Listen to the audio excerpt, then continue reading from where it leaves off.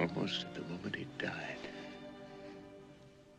I heard him say, Father, forgive them, for they know not what they do. Even then, Even then,